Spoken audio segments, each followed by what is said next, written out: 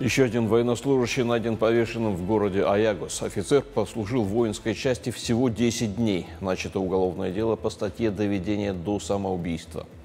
За последние три года в армии 86 военных ссыли счеты жизнью. Минобороны сегодня заверяет, что большинство таких преступлений, примерно 90% случаев, происходят за пределами воинских частей. Подробности в материале Зарины Ахмеджановой. Что, добился своего, Утра министр обороны Руслан Жаксылыков стучал кулаком по столу и ругал генералов. Общество требует сохранения жизни ребят, напомнил он военным начальникам. И сразу после обеда делегация от Министерства обороны вышла на брифинг перед журналистами. Вопросов было много, ведь только в сентябре, кроме одного факта попытки суицида, зафиксированы еще три случая гибели военнослужащих. Только вчера в городе Аягос Абайской области нашли тело 26-летнего офицера. В профильном ведомстве сразу заявили, что трагедия произошла во внеслужащем служебное время за пределами воинской части. Был на должности в финансовой службе, не связанной э, с полевыми выходами. Все компенсации с переездом, все деньги получил. То есть тут сегодня, э, вчера буквально по последним ценам, он разговаривал с отцом.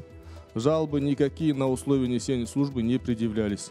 То есть отдельные моменты, может быть, тут психологически как бы переменное место. А еще в армии нет вымогательства. По словам депутата Мажилиса Константина Аверина, после жалоб родителей была проведена проверка. Оказалось, что некоторые срочники просили деньги родных из-за лудомании. То есть на службу попадают призывники с игорной зависимостью. Однако замминистра Шайх Хасан Жазыкпаев озвучил другую версию. Идут разговоры, что там у родителей спрашивать 2 тенге, 2 тысячи тенге, 3 тысячи тенге. Это каждый ребенок, естественно, 18-19 лет, хочется колу, сникерс и так далее и тому подобное. Есть э, чайная, есть магазин на территории части, где он может позволить себе данные сладости.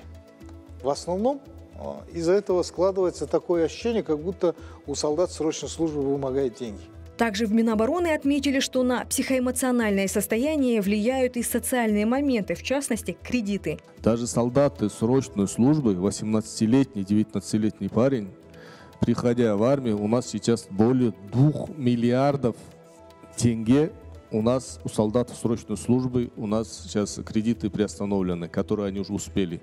А вообще за все э, 40 чем-то тысяч военнослужащих, которые служат, солдаты, я только про солдат говорю, там сумма более 7 миллиардов тенге. А зарплаты в армии, кстати, невысокие. Оклад простого стрелка всего 100 тысяч тенге. Это, конечно, тоже влияет на настроение служащих. И как факт, с начала года зафиксировано 13 случаев проявления дедовщины. Но этот термин в Минобороны стараются не произносить и заменяют его на неуставные отношения. Зарина Ахмеджанова от Имикин Бизнес.